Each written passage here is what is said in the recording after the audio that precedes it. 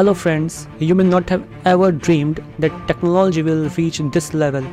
Watch this video. Can you guess which place is shown in this drone footage? Which country it's shot in? What other guess may be? It is wrong because this video is neither of a real place nor has it been taken by any drone. This is a video made by artificial intelligence. All these videos on the screen, all of them are fake. This man wearing a cap or this man reading a book. These people don't exist in reality. They have been generated by the computer. Now it's almost impossible to tell the difference between what is real and what is computer generated. And now to make videos you don't need a camera. You can make such videos with only a keyboard in a matter of minutes. All of this has become possible today because of Sora AI.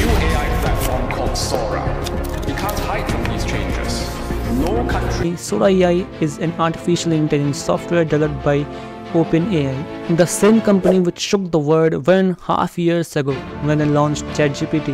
In ChatGPT, you have to text-to-text conversation with AI. You write something in text and send it to AI and answer is generated in text.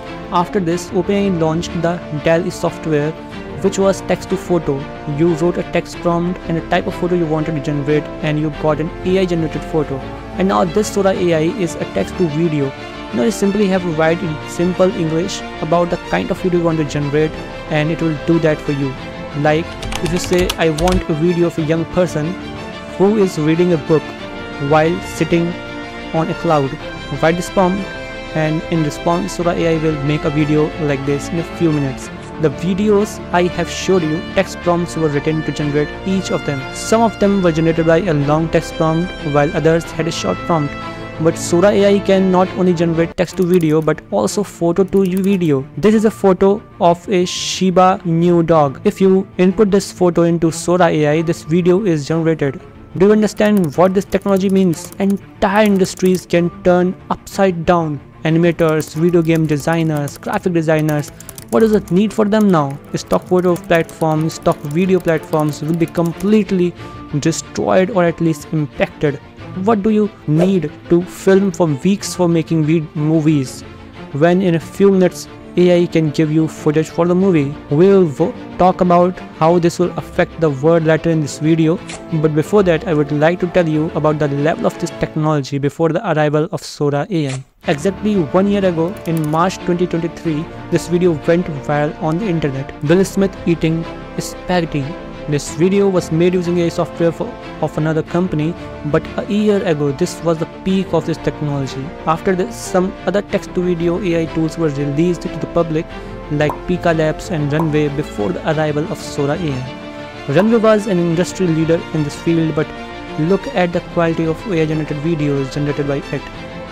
There is a vast difference. After Sora's release, actor Will Smith was so impressed with this technology that he made a video of himself eating spaghetti as a joke to show the level of technology before and after lunch launch of Sora. Sora can now understand how a word works, how motion works according to laws of physics.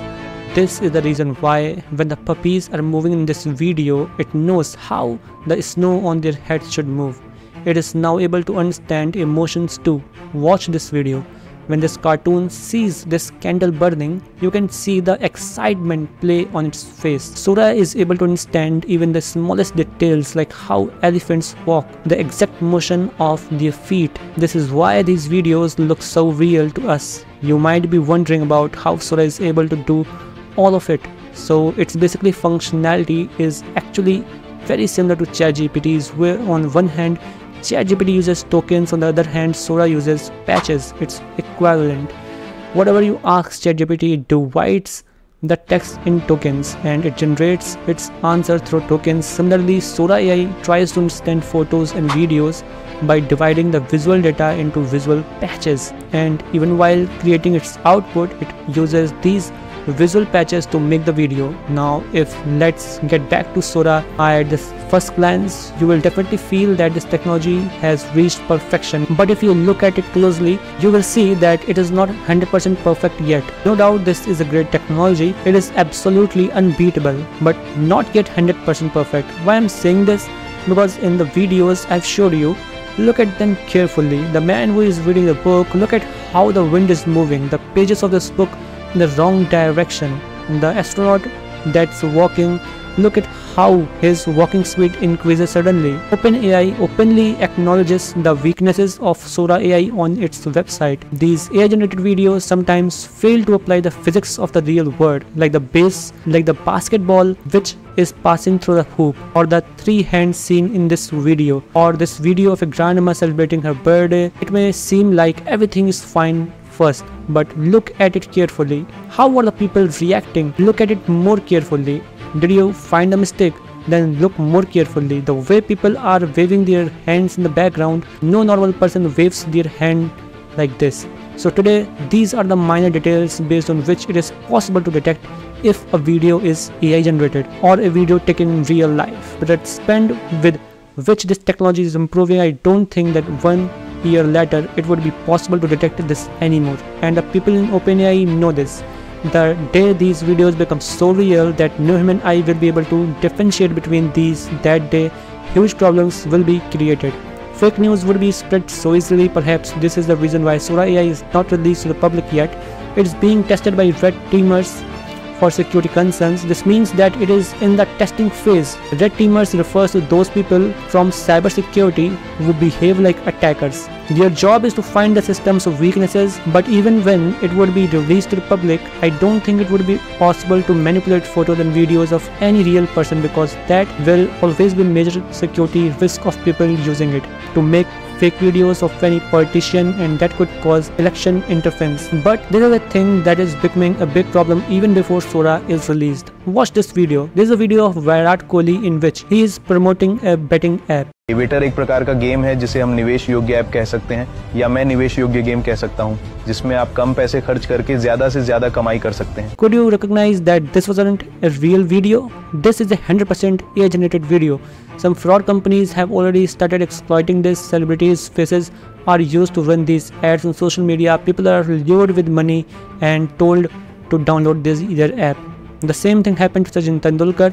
मेरी बेटी इस समय यह game खेल रही है जिसके बारे में हर कोई बात कर रहा है एविएटर वह स्काईवर्ड एविएटर क्वेस्ट ऐप खेलकर हर दिन एक सौ अस्सी हजार रुपये निकालती है Another completely fake video.